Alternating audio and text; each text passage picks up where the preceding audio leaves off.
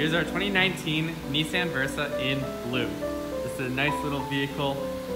I love the blue color. It's a nice dark navy. This is the SV trim. Comes with a backup camera. Lots of space here in the back as well. Come around to the front. Lots of headroom. It's only got 44,834 kilometers.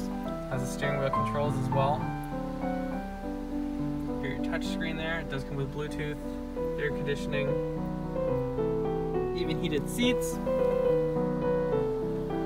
Lots of legroom in the back as well. Come down and check out this vehicle today at Destination Honda Burnaby.